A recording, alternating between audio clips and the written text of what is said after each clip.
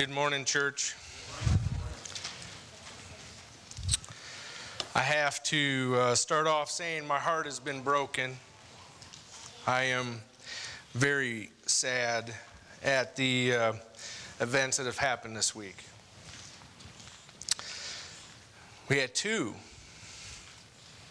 Clackamas Mall, right in our own backyard, and then the Sandy Hook Elementary School. the emails and the calls, they poured in yesterday. And so I wanted to spend some time with the Lord and, and uh, seek His wisdom on this.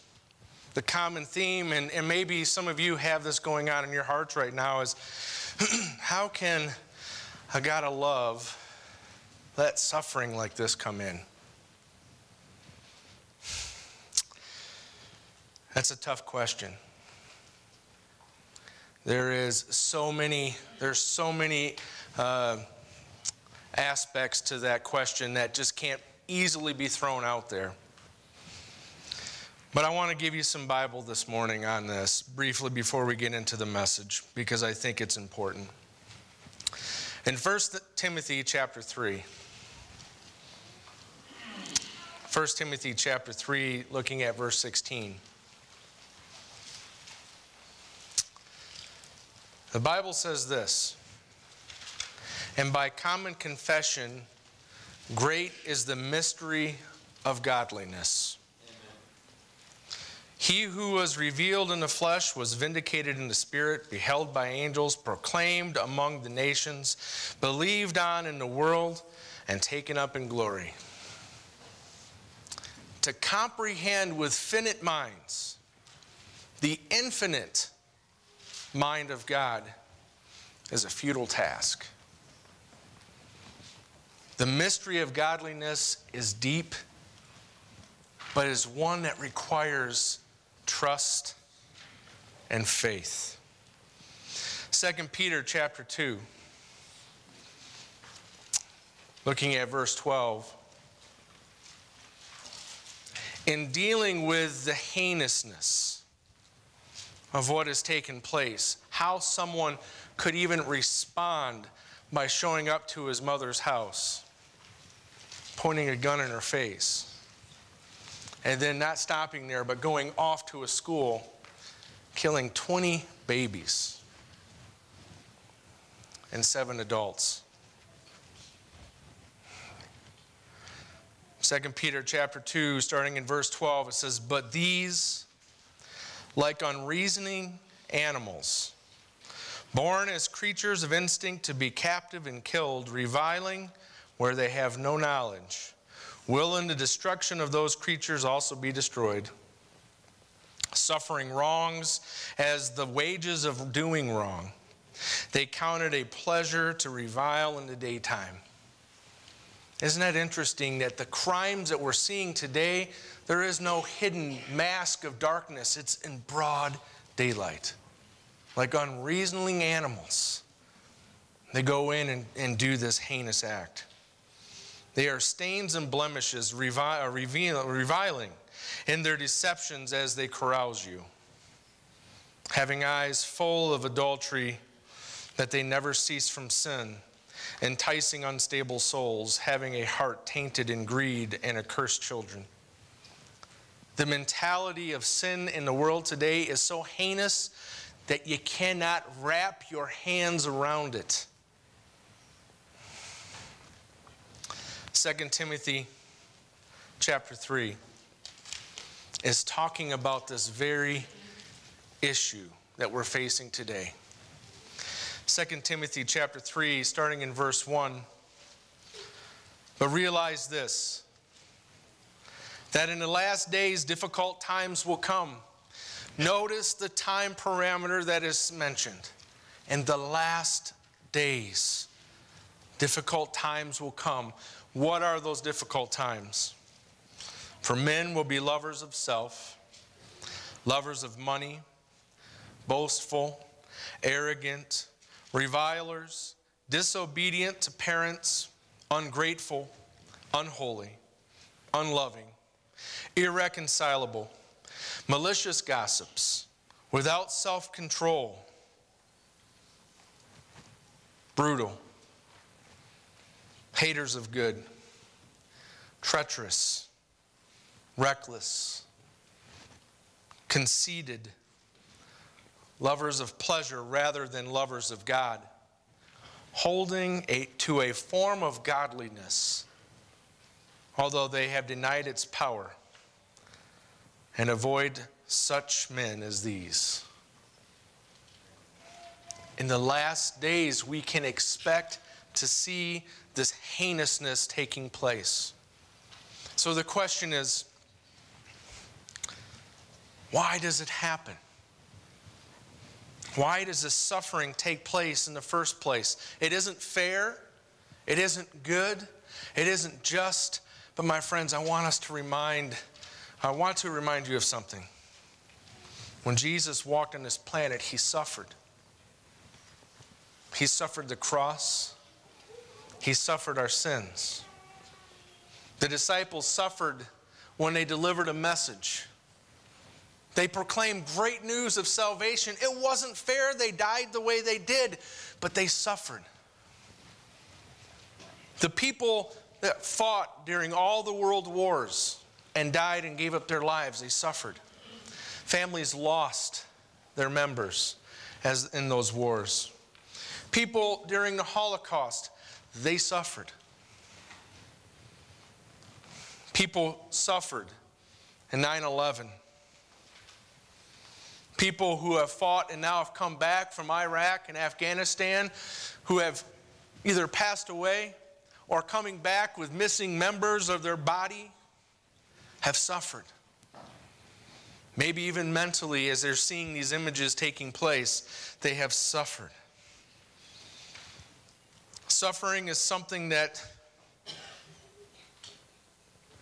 is a result of sin and was never part of the plan and humanity's creation.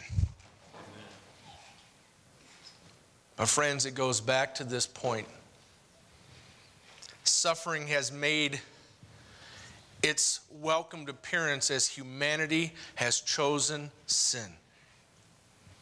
Christ suffered right there. Humanity suffered right there. Death entered at that point of time right there.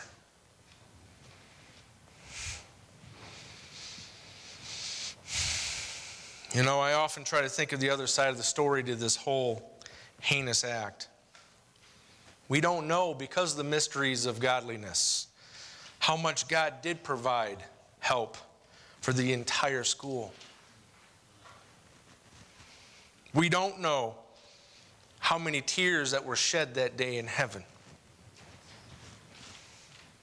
and how much pain and suffering he was going through as he's looking at these families.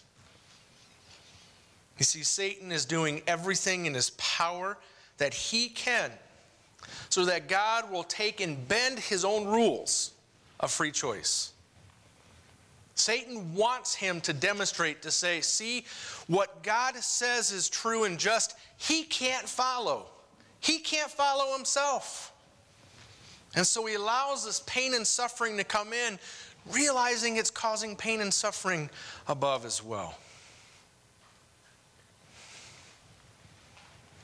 He's trying to bend and twist God at every point. So for me, it makes it pretty clear why God in the last days takes his priestly garbs off and puts his uniform of war on and comes from heaven on his white horse with a sound of saying, I'm coming to get you, my children. I'm not going to let you suffer anymore. I want to read that to you. Revelation chapter 19, starting in verse 11. And I saw heaven opened, and behold, a white horse, and he who sat upon it is called faithful and true. And in righteousness he judges and wages war. His eyes are a flame of fire, and upon his head are many diadems, and he has, uh, he has a name written upon him which no one knows except himself. He is clothed with a robe dipped in blood, and his name is called the Word of God. And the armies which are in heaven, clothed in fine linen, white and clean, were following him on white horses. The Calvary has come. The day of reckoning has come. The day when sin and sorrow meet its match.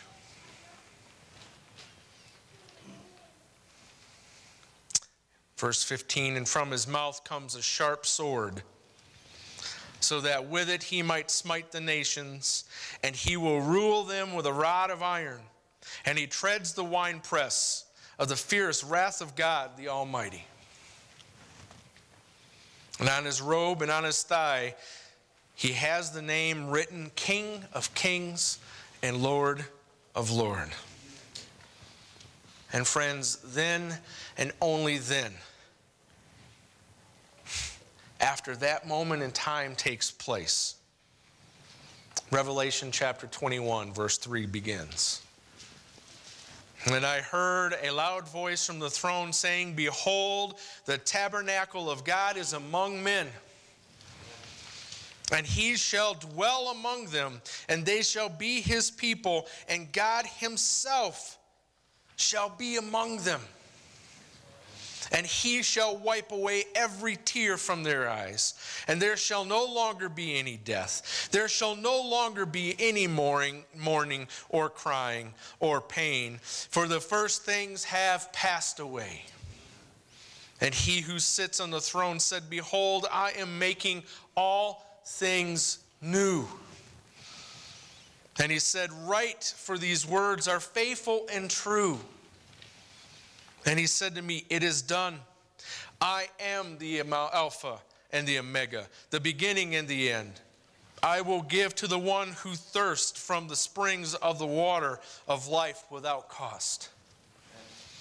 He overcomes shall inherit these things, and I will be his God, and he will be my son. As we face these times and we see these things taking place, recognize this is not what God wanted. He suffers, he's in pain with you. If anything, friends, this should, this should fuel us to get this good news out into the entire world. To get from this planet to share the gospel of Jesus Christ because he is the answer to this sin dilemma. This is what we need. His desire to be with us is strong. And it's times like this where it makes, I think, it helps humanity to let them self examine them, eh, their situations to say, Do I want to dwell with Him as much as He wants to dwell with me? Jesus is the answer. I want to share one more text before I start off with prayer. Philippians chapter 6. My prayer is that this is your prayer for the message today. Ephesians chapter 6, starting in verse 9, or 19, excuse me. Ephesians chapter 6, starting in verse 19.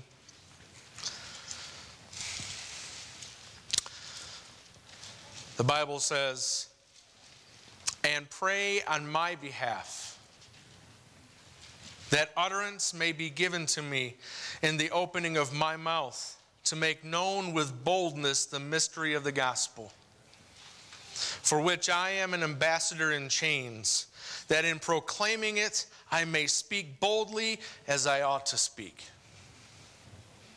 That is my prayer for this congregation. So let's pray.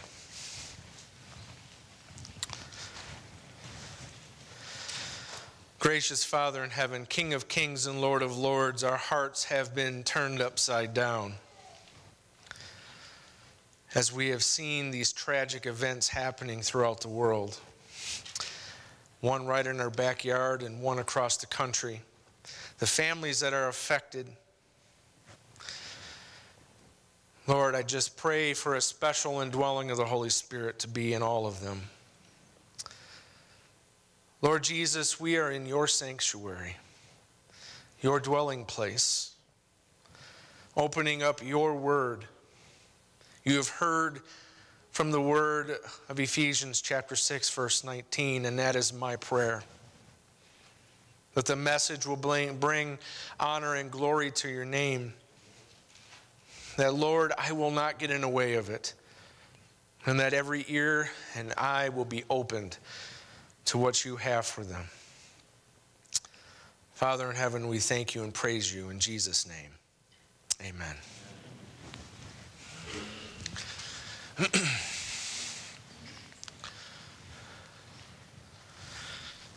Have you ever been away from your loved ones for a while? And uh, are longing for that reunion to take place? You know, today it's getting a little bit better. When I was over in Korea, all we had was telephones. But now you can get on Skype and you can actually do face to face pictures, pictures of each other or see each other talking. But there's nothing like the physical touch. There's nothing like the, the time when you can see your children come running up to you and put your arms around you, or your wife grabs a hold of you and just does that warm embrace. That's something uh, is so desperately needed. There's a desire when that absence is taking place that just fuels that fire. It's funny, when I was younger, I could go off and do as many things as I wanted to and not really have any worries. I was really independent that way. But when I was married, that, that whole settled down spirit started to, to hit me. And then, sure enough, my kids started entering the picture. And then I became like a homebody. And uh, I still remember like it was yesterday, and it was crazy because I was gone for a year and uh, over in Korea. But yesterday, or just like yesterday, uh, I was gone to evangelism school in Florida for six weeks away from my family. I swear that was like the longest six weeks I've ever had. And I would get on there, and I would talk to him on the phone, and I would look at, you know, look at Skype, but I just couldn't wait to see them again. I couldn't, I couldn't wait to, to grab a hold of them, give them a hug, let them know I love them, get the hug from my wife. There's just something about that, that desire to, to dwell with them, to abide with them, to be with them, that really was a driving force. You know, in looking at this scenario, another way to look at it is these families who have lost these babies. You think they have a desire for maybe just one more day? Just one more day. That desire is so strong. It is such a beautiful and yet motivating force. I think it's really fitting that that desire, that picture of desire of dwelling with one another, as well as the indwelling of Christ in us, comes around this time of year. As the world celebrates the birth of Christ. We should look at that desire of Christ, but on the opposite. Desiring his desire to abide and to dwell with us. He's provided so many aspects to that. We're going to focus on the foundational block of that today. But we don't have to go far. Look at what it says here in Matthew chapter 1, verse 23.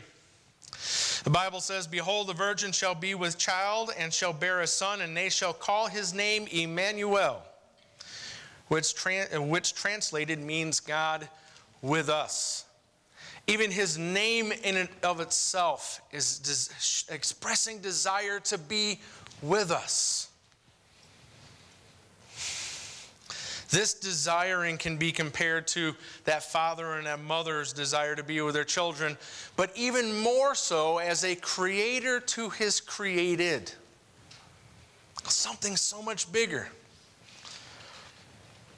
I want us to uh, examine the dwelling then that we find this desire to dwell within the Old Testament. Because the New Testament goes into that and talks a lot about this, this aspect of dwelling, this aspect of abiding. I want to go back to the Old Testament. I want us to look at what this whole concept of dwelling is. And I think we can even find another picture. Something that has been painted even before, actually at the foundations of creation. We go back to Exodus chapter 25, looking at verse 8. The Bible says this, and let them construct a sanctuary for me. For what purpose?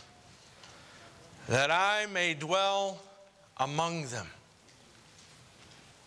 Two points that I want us to pull from this passage. The first point is, is that the sanctuary was a literal structure. It was also and is also a literary structure now. You'll see this.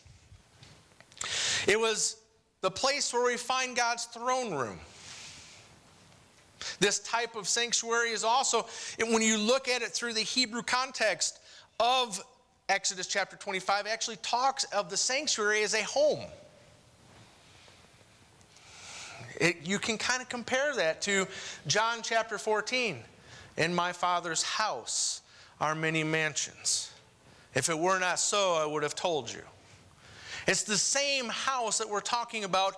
Build me a sanctuary. For what purpose? So that I can abide with them, I can dwell with them. It is God's desire to be with His creation. From the foundations of the earth, He wanted to be with His creation. He doesn't have a deist mindset of saying, well, I formed them, I threw them out there in a planet somewhere, and they're on their own. He wants to be part of our lives. He wants to be engaged in every aspect. He wants to experience every bit of pain and sorrow you may be going through, but as well as celebrate the joy and celebration of life that He can give you as well. He wants to abide with you. That word dwell comes from the Hebrew word shakan, which means to actually settle down. You know, when you find your home and, and it's this nice, cozy house, and you just settle down and you get real comfortable in it. Maybe you look at it from a church perspective. You're settling on down into your church. This becomes your family. It's the same principle that we see from the word shakan to dwell with. If this dwelling and the sanctuary are so important, then I bet the Bible can point us to going back even before the Mosaic sanctuary was constructed and find the same picture of the sanctuary there. And sure enough, it does. We're going to go back and look at creation itself under this theme of sanctuary with the concept of wanting to dwell with us. The first point that we're going to look at is in the actual Garden of Eden itself. Look at where the positioning of the Garden of Eden is. We're going to parallel these uh, as we go through. First off, the garden. In Genesis chapter 2, verse 8, the Lord God planted a garden toward the east in Eden, and there he placed the man whom he formed it. Now, in the garden, the entry point of the garden was facing what direction? The east. In the sanctuary, on the other hand, we have this in Exodus chapter 36. Whoops, let me get over here. We're comparing them. Exodus chapter 36. And for the rear of the sanctuary or tabernacle, to the west, he made six boards. Now, this is, I'm pulling one text out of the context of, of uh, Ezekiel 36, 20 through 30 as the construction of the temple. But I want us to focus on the first point of that, which was the rear of the temple was facing what direction? Okay, so what does that mean then the front of the uh, sanctuary was facing? To the east. So the garden was facing, the entrance of the garden was facing to the east. The tabernacle was facing to the east. Okay? So that was the rear of the tabernacle. So the face of the tabernacle was to the east. There's another one. And Ezekiel, doing the same comparison again to Genesis chapter 2, verse 8, it is facing the east. Look at what it says here. Then he brought me back to the door of the house, and behold, water was flowing from under the threshold of the house toward the east. Door, water coming forth. We're going to get into that a little bit more. Facing the east. Okay? For the house faced east. And the water was flowing down from under and from the right side of the house and from south of the altar. So we have the positioning of the Garden of Eden in the same type of position that we find with the sanctuary. They both had their entry points to the east. Look at else. Look at what else happens here. God plants the Garden of Eden. Look at the words that are used here. In Genesis chapter 2, and the Lord God planted, the Hebrew word there is natah, a garden toward the east in Eden. And there he placed the man whom he had formed. We'll compare that to Exodus chapter 15, verse 17. Thou wilt bring, or thou wilt bring them and plant, the same word, natah, them in the mountain of thine inheritance, the place, O Lord, which thou hast made for thy dwelling, the sanctuary, O Lord, which thy hands have established. God planted the sanctuary in the Garden of Eden. God planted the sanctuary for the people, his inheritance, to partake of. Look at this one. We'll do the same comparison. God plants the Garden of Eden with Genesis 2 8 and 1 Chronicles 17 9. And I will appoint a place for my people Israel and will plant, natah, plant them, that they may dwell in their own place and be moved no more. Neither shall the wicked waste them any more as formerly. So, the context of this this verse is dealing with you know, David's desire to build God a sanctuary. He wanted to. He was looking back at his fortress. He was looking back at his house and he says, Listen, I'm living in a house of cedar, and, and the Lord's, the, the Ark of the Covenant is in a tent. His desire for, for making God's sanctuary, and that was the response that he received. So the planting of the sanctuary in the garden was the same type of planting God uses when he talks about the Mosaic uh, sanctuary. Here's another interesting concept the tree of life. The tree of life in the garden in Genesis 2 9 says this And out of the ground the Lord God caused to grow every tree that is uh, pleasing to the sight for uh, to the sight and good for food. The tree of life also in the midst of the garden and the tree of knowledge of good and evil. We compare that then to the sanctuary. In the sanctuary, the presence of God was in the midst of his people. Exodus 25 8, we go back to that foundation. Build them a sanctuary, or construct a sanctuary for me, that I may dwell among them. The Hebrew word is tavek which means in the midst of them. God wanted to be part of them, right smack dab in the middle of them.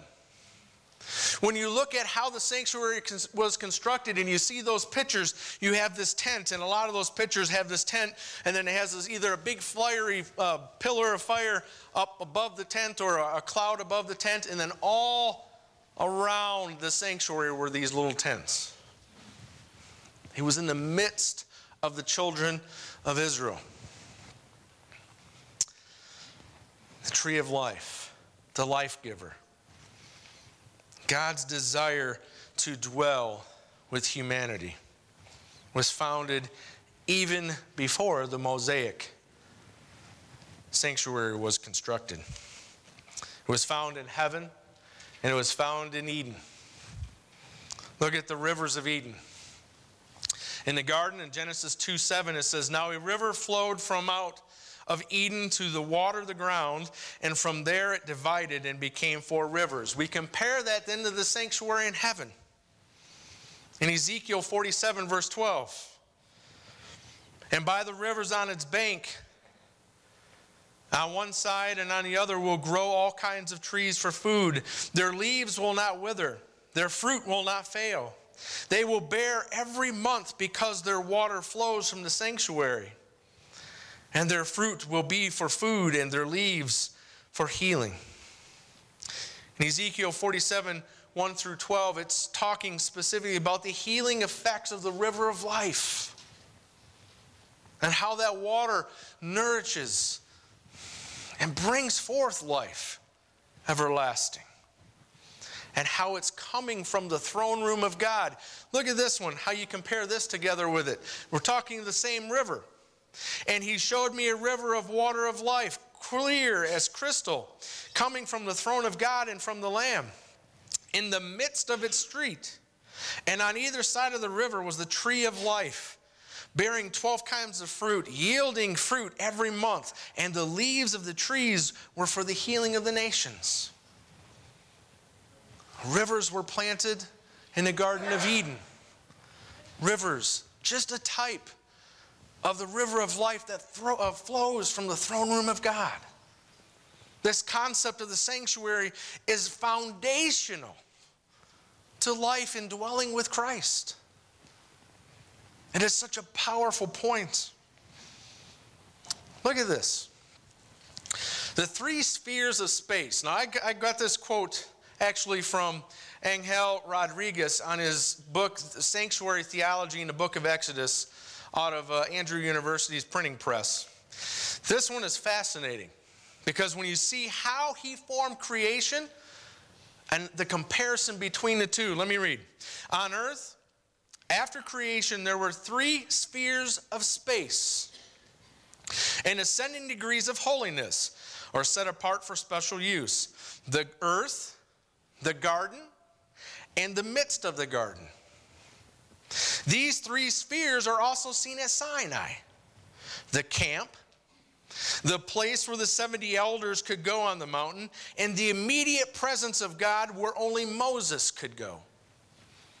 They are repeated in the sanctuary system the court, the holy place, and the most holy place, which is found in the, in the depths of the sanctuary. Everything God does is intentional, and it all centers on His desire to dwell with us and abide with us. From the foundations of creation, He has set this up because He values human life, He values our relationship with Him. So He creates this so that this can take place. Look at the creation of the world paralleling the Mosaic sanctuary. The creation of the world took six days, each introduced by the clause, and God said, followed by the seventh day Sabbath. So did God's instructions to Moses regarding the building of the sanctuary in Exodus chapters 25 through 31. These chapters are divided into six sections introduced by the phrase, the Lord said to Moses, followed by concluding the seventh section dealing with the Sabbath. Everything is centered around his dwelling with us. I want us to get that point and drive it home. Because we're going to see later on why that is so important for us to understand. He wants to be with us, He desires to be with us. Look at the work of Eden. Look at this. When we go back to the Garden of Eden, uh, Genesis chapter 2, verse 15, the Bible says, The Lord then the Lord God took the man, put him in the Garden of Eden to cultivate and keep it. Some versions say to till it and keep it. Now it's really interesting because when you look at that word to till or to cultivate, the word is actually used in Hebrew as avad or aved, which means to serve, to serve the ground and to keep it. When you parallel that with Numbers chapter 3, looking at the sanctuary structure, you find something very similar.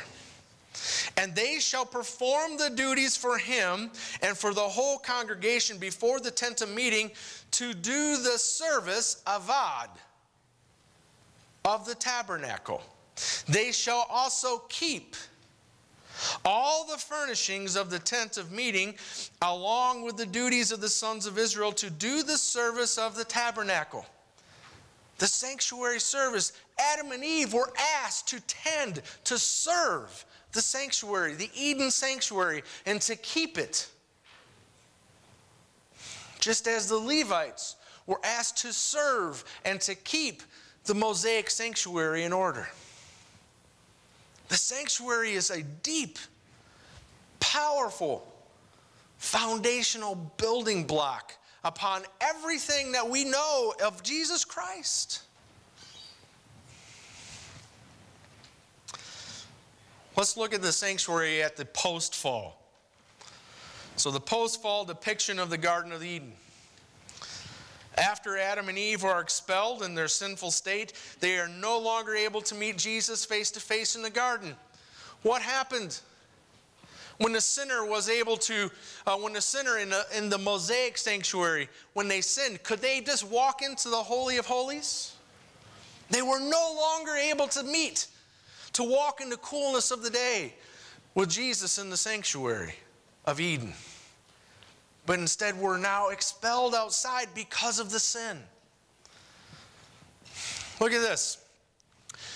To the eastern entrance of the garden, guarded by cherubim with flaming swords, Adam and Eve and their children came to worship God, built their altars, brought their sacrifices. Here, the Shekinah glory was manifested as God came down to hold communion with them, patriarchs and prophets at the foundation, right at its gate. They no longer could go inside.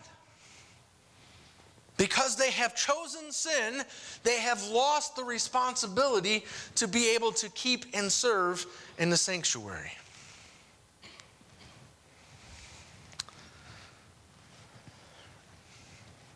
Friends, the sanctuary is not some mystical or mysterious theological concept, but rather are building blocks of our faith.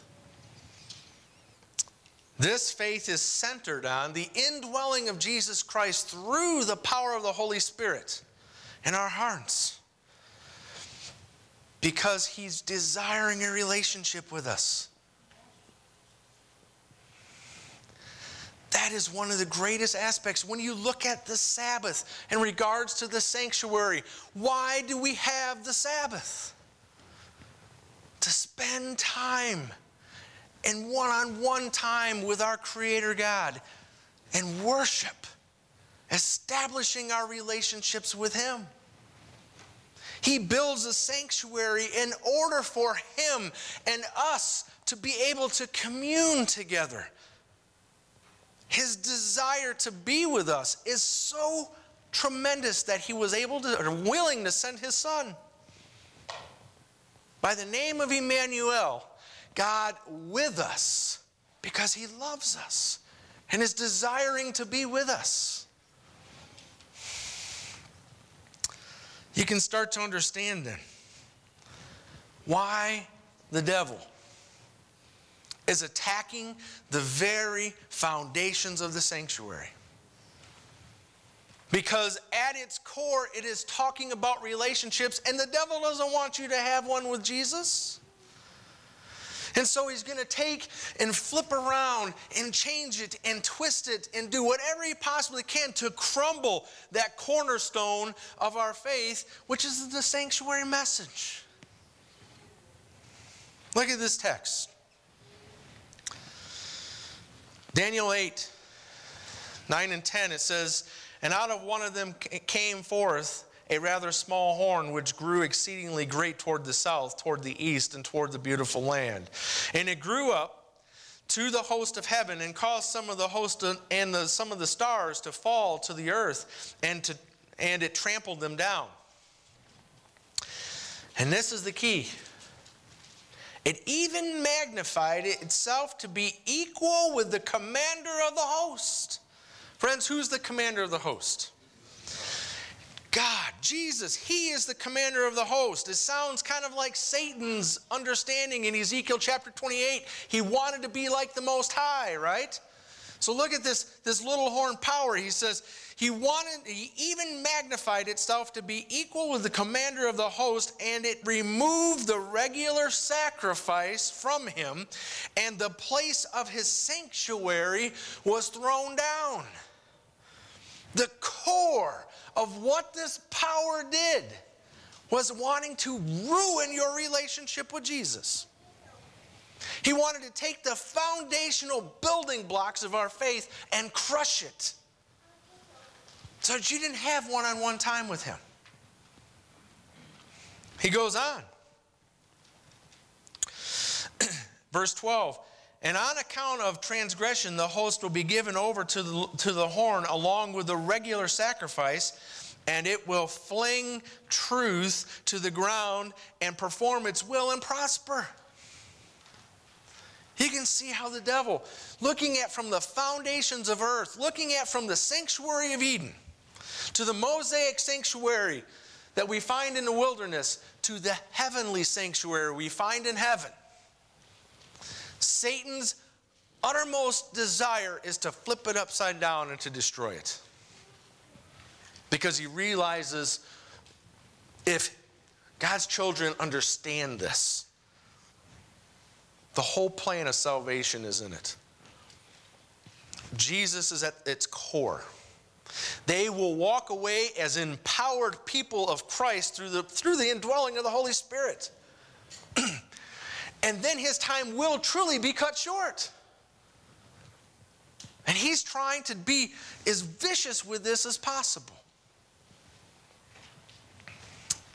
Finishing this section up here, in verse 13, it says, Then I heard a holy one speaking, and another holy one said to that particular one who was speaking, How long will this vision about the regular sacrifice apply? While the, tra- while the transgression causes horror, so as to allow both the holy and the most holy to be trampled. Isn't that interesting? Verse 14, and he said to me, For 2,300 days, then the holy place will be properly restored. The devil is after this. I have looked at this, I have prayed over this. Friends, it is time for us to get back into being sanctuary people again. We haven't heard a lot of sanctuary talk. We need to understand what the sanctuary has for our lives. We need to understand what the implications of each and every aspect of the ministry of the sanctuary has in our lives because it all points to Jesus and his desire to indwell in us, to have a relationship with us. And if that is taken away, if that is removed, then what do you have? But an empty, shallow gospel that has no power There's nothing. It also leaves us hopeless and confused. Without a sanctuary, friends, you can even say this. Without a sanctuary, there's no need for a cross. There's no need for a cross, there's no need for Jesus. If there's no need for Jesus, there's no need of a law. If there's no need of a law, then there's no need of sin. You can do whatever you want to do. Because everything is centered upon the sacrificial system, which is found in the sanctuary.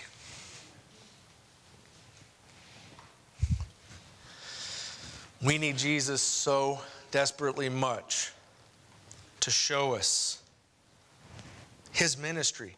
You, you, you realize that when you get into the sanctuary readings and the sanctuary uh, understanding of the Old Testament, and then you look back into the New Testament, you look in the Hebrews, and you start exploring that heavenly sanctuary that you see there, you will find a better understanding of the Gospels of Jesus.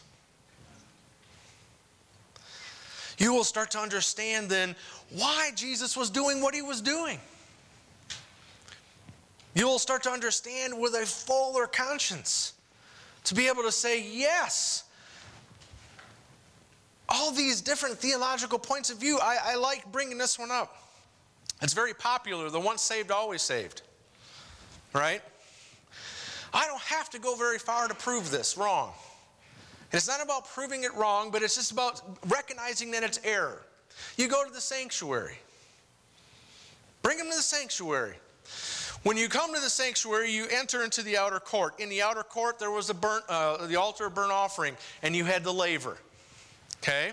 So when a sinner would come in, they would take a lamb, they would go up to the altar of burnt offering. The, the, the priest at that time would hand them a knife. The sinner would cut the lamb's throat, hold the lamb in place while the priest collected the blood of the lamb. Barbaric, hard, right? Sin is disgusting, and it's filthy, and it's horrible. Sin takes life. We've witnessed that already twice this last week. The lamb is representing Jesus Christ. John 1:29 Behold the lamb of God which takes away the sins of the world. So the sinner comes in, offers the lamb, the blood is sprinkled on there, and the, the sinner then is justified. He has been proclaimed as being right in the sight of God. His sin has been taken from him. Okay? Now let's look at that in a practical application. If we see then and we come in and we meet Jesus and we say, Jesus, you're my Savior, I am a sinner. I come to the cross. I come to the altar of burnt offering. I accept the life of Jesus as my atoning sacrifice at the cross, at the altar of burnt offering. He now justifies me. But see, I'm not done yet. I have the rest of the sanctuary to keep walking through. I didn't stop at the altar of burnt offering. I got to keep on going. What's the next step? You come to the laver. What is the laver representing? The living waters of Jesus Christ. When I accept Jesus as my Savior, I then go into the waters of baptism. And I come out clean. I come out in the next phase of my journey with Christ. And we keep going through the sanctuary, right? We had to keep moving. So then I enter the holy place. And here comes sanctification, that big theological term, where God then begins to look at it and says, Listen, you got this sin going on in your life. I really want it. I really want you to give that to me. And so we, we begin to start purging these sins through the holy place. And then we get into the last stage, the most holy place. It's the glorification place. This is a place when Christ Himself descends with a loud voice and a trumpet blast from God, and we ascend into heaven. We're glorified. Our bodies are changed in an instant. That is the big picture of the sanctuary. You see, once saved, always saved doesn't work there. I don't need to walk through the sanctuary if I'm already saved. It doesn't work. You can start to see where the devil is attacking this. Why? Because it flips everything upside down. Friends, we need to be in the sanctuary. Every aspect of it. We look at the, we're going to look at the burnt offerings. We're going to look at the sin offerings. We're going to look at the trespass offerings. And let me tell you, those are pretty big. That is basically known and unknown sin. A trespass offering is known sin. We're going to explore what that means. We're going to start looking at the feasts and the festivals. What do those mean in regards to the sanctuary?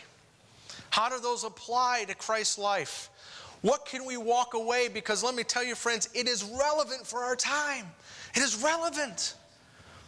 I have heard too many times the sanctuary is some mystical theological concept that doesn't have any real application for today's life, and it cripples me, it hurts me. It has everything to do with what and who we are. You take the sanctuary out, what are we? A Sabbatarian, shallow gospel preaching people. And that is not what God has asked Christians, followers of Christ, to be. But to be established in Him because He's worth it and He's desiring to dwell with us. as we